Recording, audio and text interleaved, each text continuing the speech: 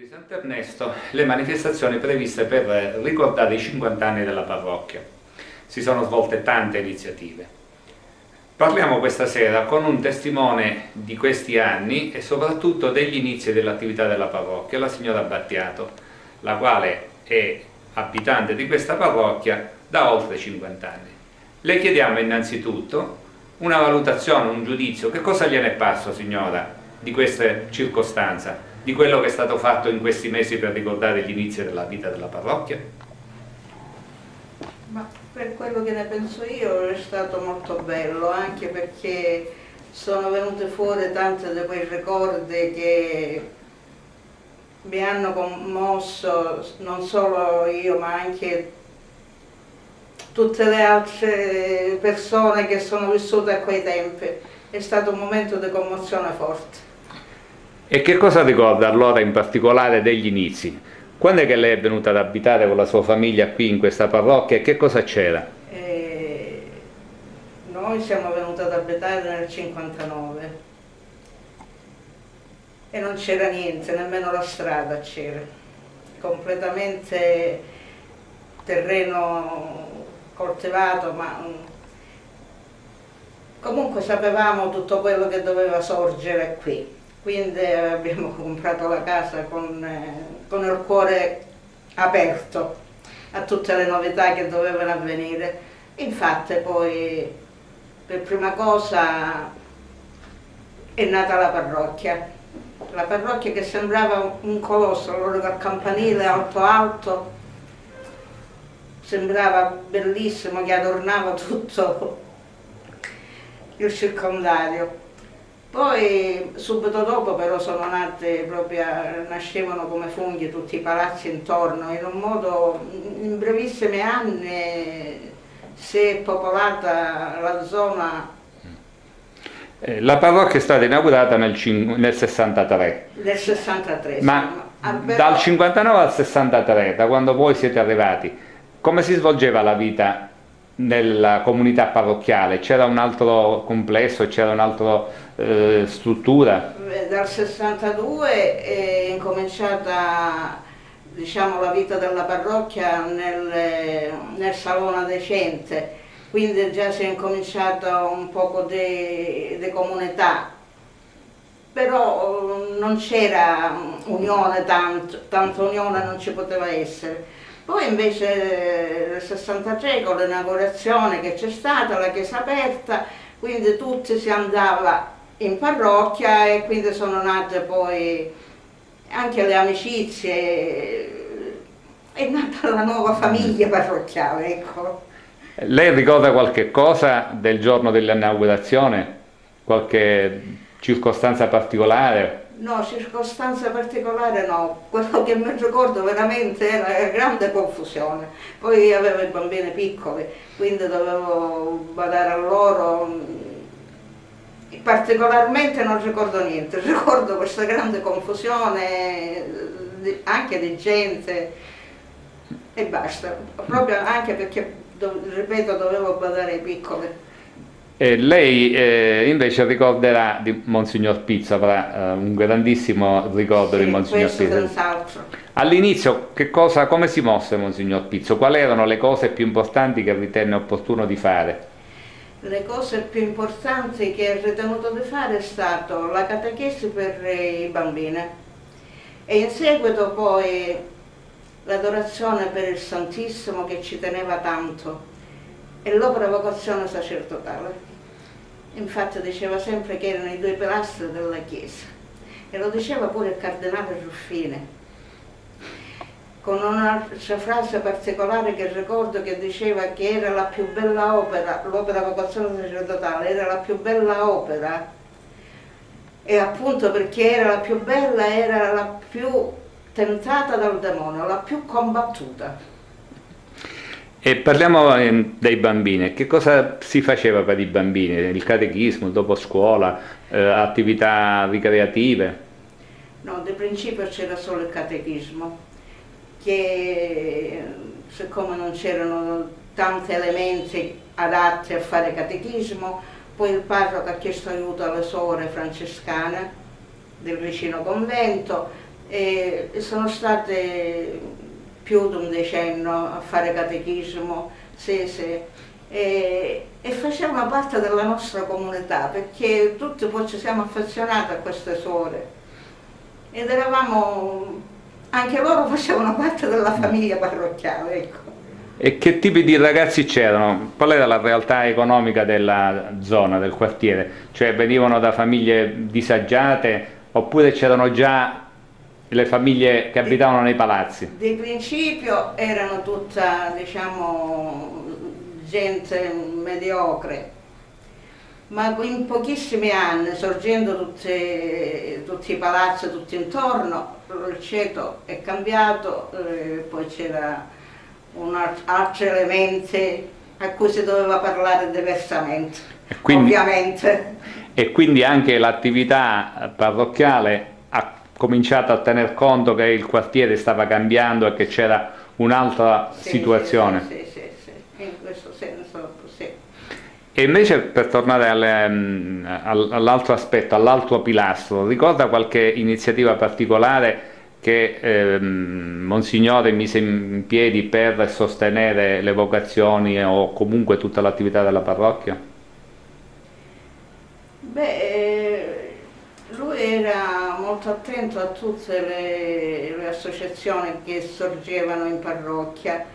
Ripeto, in particolare proprio teneva l'opera vocazione sacerdotale in particolare, infatti poi alla morte della mamma ha fatto una borsa di studio eh, intitolata a Mamma Lucia che la parrocchia ha collaborato con amore però perché sapeva che questa, questi soldi andavano per il seminario, andavano ad aiutare loro, quindi anche la parrocchia amava i seminaristi e collaboravano tutte, anche economicamente. E invece dal punto di vista umano, Monsignore che tipo era?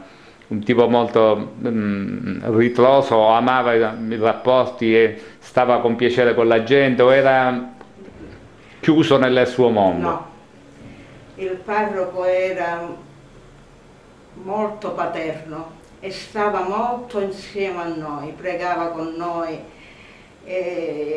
ci teneva sempre queste riunioni per vivere la vita dell'associazione assieme. Poi eravamo tutti uniti, tra gruppi e gruppi, eravamo tutti uniti, infatti se c'era un'iniziativa, non è che lavorava solo chi aveva fatto l'iniziativa, c'era la collaborazione dell'azione cattolica, delle lampade viventi, dei rosarianti, c'era la collaborazione di tutte. Ricordo in particolare, una volta l'opera vocazione sacerdotale per esempio ha fatto una cena per gli anziani della parrocchia, non per i poveri, tra parentesi, per gli anziani della parrocchia. Tutti hanno aiutato a fare questa opera, perché chi ha pensato a comprare la carne, chi ha pensato a cucinare la, la pasta, perché poi gli iscritti, perché si dovevano iscrivere pagare una piccola quota, perché non era opera caritativa, era per stare insieme gli anziani della parrocchia. Infatti eh, siamo stati tutto il giorno con questi anziani, felici di aver passato una giornata diversa.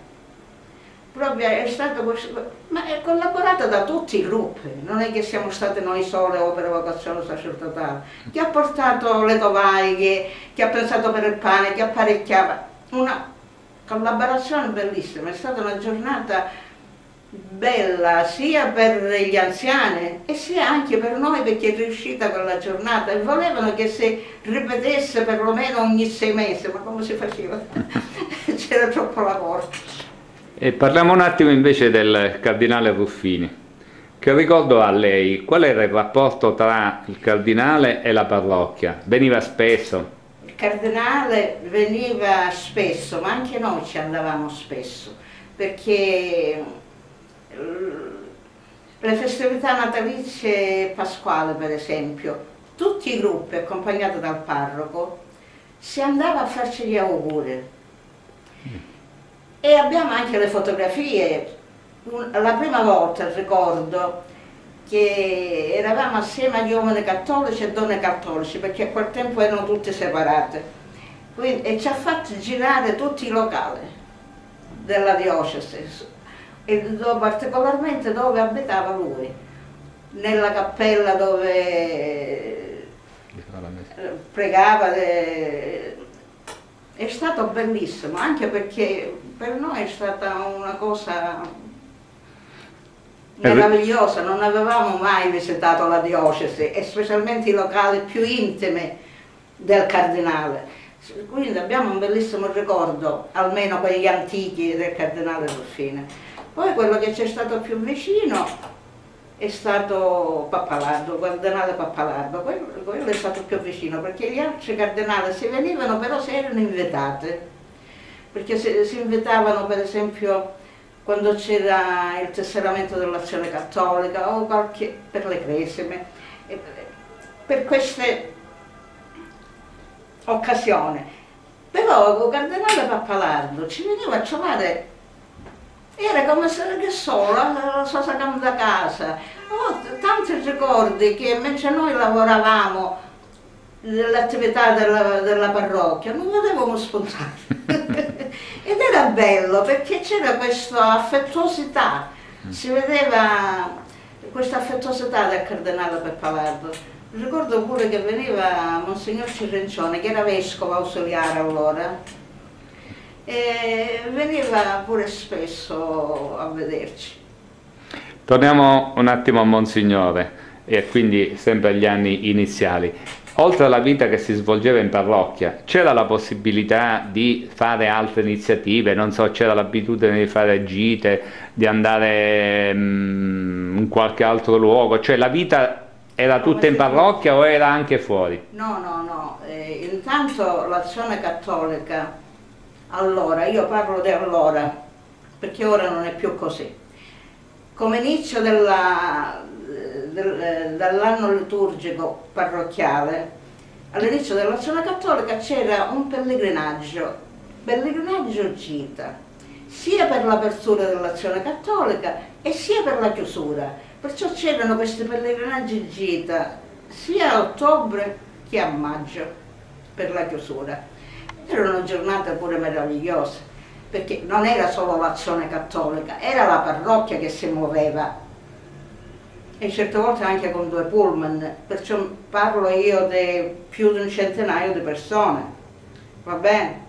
E sempre accompagnata dal parroco, sempre, il parroco non mancava mai con noi. E quindi andando nei vari santuari della provincia e anche fuori provincia, si andava a Tindari certe volte, e in tanti altri luoghi, sia in provincia che fuori, ripeto erano giornate meravigliose, distensive e spirituali, piene di grazia, ci dico io, del nostro Signore. E quindi quegli anni come hanno aiutato a costruire la comunità parrocchiale, la coscienza di appartenere a questa comunità? Cioè la gente si sentiva partecipa oppure veniva perché doveva venire, perché bisognava andare a messa la domenica? Cioè era diverso da come ora? Io so di quei tempi che tutte le iniziative che c'erano di preghiera, la Chiesa si riempiva tutta. Quindi se la Chiesa si riempiva c'era partecipazione parrocchiale. Poniamo eh, la prima domenica d'ottobre, ma la prima domenica d'ottobre era, era, la domenica, quindi la chiesa era zeppa anche per la messa, ma l'8 maggio, la supplica per la Madonna, a mezzogiorno, non c'era spazio in chiesa per la folla che veniva. E il parroco stava attento proprio a aspettare mezzogiorno perché tanti uscivano dagli uffici a regione eh, anche a Standa, che allora c'era Standa, tutte, ce n'erano tante di queste, scappavano alle 12 meno 5, venivano, partecipavano alla supplica e poi scappavano di nuovo al lavoro. Quindi questa è partecipazione, questa è vita, non è abitudine di andare a messa, questo è senso veramente di fede verso la Madonna e verso nostro Signore ovviamente. Quindi ricordo questo, questo lo ricordo. Quindi possiamo dire che, che mh, mm, Monsignor Pizzo riuscì a intrattenere un rapporto molto cordiale con questi nuovi abitanti della parrocchia, perché molti di questi che lavoravano negli assessorati venivano da fuori, non erano palermitani, venivano perché c'erano i nuovi edifici. Sì, signor. Sì, signor. E con questi che tipo di rapporto aveva? Cioè mh, mm, venivano, si facevano delle iniziative, si facevano delle attività? Eh, senta, io posso, perché io lavoravo più nel mio gruppo, mm. poi naturalmente avevo famiglia, stavo a casa, non potevo sapere tutto quello che si svolgeva in parrocchia, va bene? Però sapevo che c'erano rapporti paterni perché era un padre per tutti per esempio al tempo degli esercizi, mm. il parroco andava nelle assessorate, anche alla standa, per fare gli esercizi tre giorni di sera, fuori, andava nei locali. Ora questo è un amore verso i parrocchiani, sì. eh, andare verso di loro per eh, sensibilizzarle. Oggi questo non si fa più. Io non lo so, ma mi pare che e, non... Per esempio il parroco aveva l'abitudine di andare per le case eh, dopo Pasqua per eh, la benedizione? Sì, allora usava sempre e non mancava mai de... e questo era bello perché c'era un rapporto familiare poi, perché conosceva le famiglie una per una. E conosceva le lacune, conosceva tante altre cose che poteva sapere solo lui perché nasceva una cosa, certo non erano tutte le famiglie che si aprivano, ma la maggior parte sì perché, perché andava lui personalmente. Raramente mandava i cappellani perché allora ce n'era uno fisso e poi c'erano tanti altri sacerdoti che collaboravano, anche per via di tutti i matrimoni che c'erano, funerali, matrimoni, tante c'erano tantissime. Si facevano anche matrimoni in parrocchia? In parrocchia, ma diversissime. Eh, si discuteva il sabato 3-4 e anche tutta la settimana poi c'erano... E non c'era mese che, che prima un tempo si diceva che a maggio non si sposava, in agosto non si sposava. Piaceva e ricorda invece dei rapporti, se c'erano, in quel periodo con le altre parrocchie che man mano eh, venivano su e si costruivano, perché successivamente, successivamente si furono le altre parrocchie. Santa Luisa de Marigliacchi, poi è nata San Francesco de Sal, il Cottolengo già c'era. Il Cottolengo già c'era perché ricordo che si andava a messa noi altri eh, dove si trovava Terra Santa, via Terra Santa, queste parrocchie, Santa Teresa. Mm. E... I rapporti sì, c'erano perché nelle grandi occasioni si, eh, si invitavano i parroci, quindi c'era questa unione eh, e collaborazione, poi è nata di più la collaborazione che quando è venuto Padre Bucaro che ha voluto fare... Sì, sì, quello... sì, quello è stato un, no. un altro periodo. Eh. E invece sempre riferito a questi anni, c'erano per esempio eh, iniziative eh, religiose ma pubbliche, per esempio processioni, eh, Sant'Ernesto non è un santo che si porta in giro, quindi per esempio come si festeggiava Sant'Ernesto? il giorno di Sant'Ernesto si festeggiava che c'erano festività in chiesa come ore sante, messe solenne, che si invitavano i parroci delle altre parrocchie, ecco l'occasione, questa era pure unione. E poi a vita pubblica c'era la via Crucis per eh, venerdì santo fuori. ricorda quando fu la prima volta? No. In che anni fu? Ma all'inizio? No, no, no, non me lo ricordo, anche ripeto perché io avendo famiglia non è che potevo sapere tutto quello che si svolgeva in parrocchia, poi avevo questa responsabilità dell'opera mm. E quindi i miei tempi erano anche ristretti perché cercavo di allargare, infatti era molto vasta come iscritte all'opera e ci, ci voleva pure questo tempo.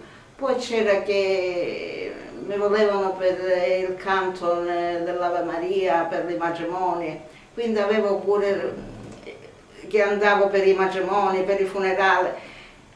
Era una vita molto lavorata, quindi io facendo il mio lavoro poi mi ritiravo e pensavo per la famiglia, non è che... E a proposito di famiglia, un altro grande collaboratore del parroco e della parrocchia è stato suo marito. Sì. Cosa faceva suo marito in parrocchia e qual era il rapporto che aveva?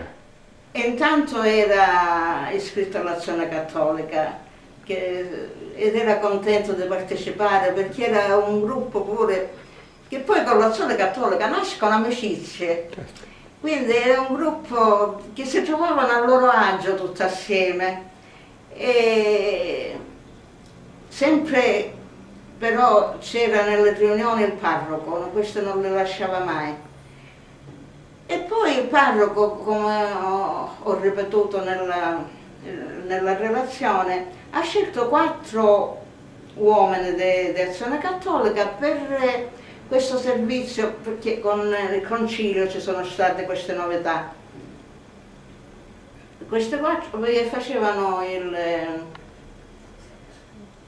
l'amministratore della parrocchia ma allora l'amministrazione della parrocchia non è che si faceva come ora, era vera amministrazione. Perciò la cosa principale era raccogliere soldi, eh, questo per, eh, per, i matrimoni, questo per i funerali, questo per le elemosine, queste cose, poi pagavano il parroco, i cappellani e poi non c'era spesa che non facevano che non veniva registrata. Che non veniva registrata. E il lavoro di mio marito poi era pure quello che stava attento eh, se mancava se la manutenzione della parrocchia. Ricordo che ha fatto pure un elenco di tutto quello che c'era in parrocchia, perché dice un domani che cambia il parroco. Ma questo fu fatto una volta e finì. E invece eh, qual era eh, l'attività sulla mh, carità? c'erano bisogni di carità, c'era un'attenzione particolare, siccome era una parrocchia ricchia, ricca non c'erano problemi? No, questo no, i problemi ci sono stati sempre in parrocchia. Ripeto, prima eh, c'era come sia Rampa delle Vente, sia Opera Vocazione Sacerdotale, sia Azione Cattolica, si faceva la, la carità a quelle persone vicine della parrocchia. Ma poi siccome la cosa si è ingrandita, è nata proprio il campo della carità. Mm. E si sono presi il campo tutto loro, assieme al parroco, perché il parroco sapeva tutto quello che svolgevano eh, loro. Noi altri facevamo aiutarle, nel senso se avevano un'iniziativa, che so, eh, sorteggiare un quadro, sorteggiare un bambinello e allora noi collaboravamo tutti per la vendita dei biglietti per collaborare con questa carità, però per visitare le famiglie, per aiutarle sia nella parrocchia sia fuori parrocchia anche erano loro, lo sapevano loro, non, non si sapeva a chi, dove andavano, lo sapeva solo il, gruppo, il gruppo e il parroco. Noi non ne sapevamo niente. Quindi non c'era l'abitudine che c'è oggi di ricevere in parrocchia quelli che hanno di bisogno, era la parrocchia che andava incontro ai sì, bisogni. Sì, sì, oggi si svolge tutto diversamente. E quei tempi invece si andava direttamente a casa? Sì, sì. Sì, sì, si andava, si andava a casa.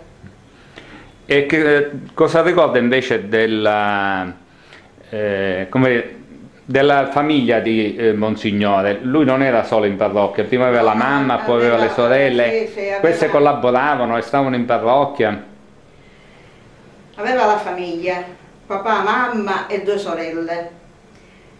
La mamma veniva per le funzioni, una sorella era invece in mezzo a noi, era iscritta all'azione cattolica, era iscritta all'opera vocazione, eh, partecipava a tutte le cose, era in mezzo a noi, era una sorella nostra diciamo, non mancava mai nelle gite, c'aveva il fratello pure, quindi c'era più facile. L'altra sorella invece era più ritirata, faceva la vita familiare.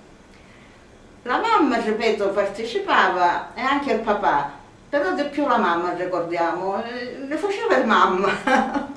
Ricordo un'altra cosa, quando si preparavano gli olive per la Domenica delle Palme, che abbiamo incominciato noi, però con circa un centenaio, poi si sono fatte migliaia di ramezze per offrirlo al popolo. Si stava tutto il giorno là per tornarlo, a prepararlo. E lei scendeva con eh, la caffettiera col caffè. Avete freddo, prendete un po' di caffè. Questo era un senso materno e d'affetto e di rispetto. Io me la pigliavo così. Arriviamo alla fine di questa prima parte. Cosa ricorda invece della parte finale del Ministero di Monsignore, diciamo, gli ultimi anni prima che poi eh, è andato alla casa del padre.